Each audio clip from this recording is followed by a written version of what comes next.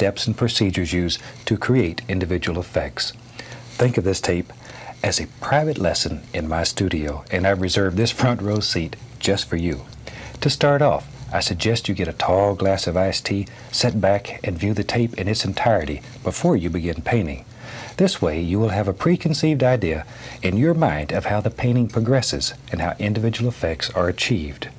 If any procedure is unclear to you, you may run the tape back and see it again to see exactly how a particular effect was made.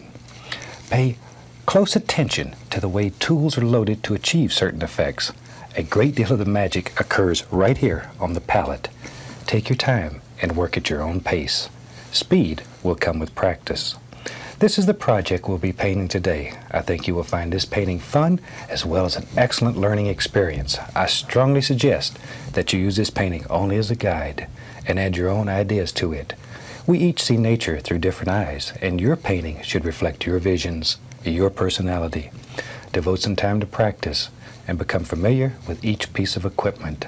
And very soon, you too will experience the joy of painting. Before we get started, let's put a complete supply list on the screen, listing all the materials you need to paint this fantastic scene with me. Then I'll be back in just a second.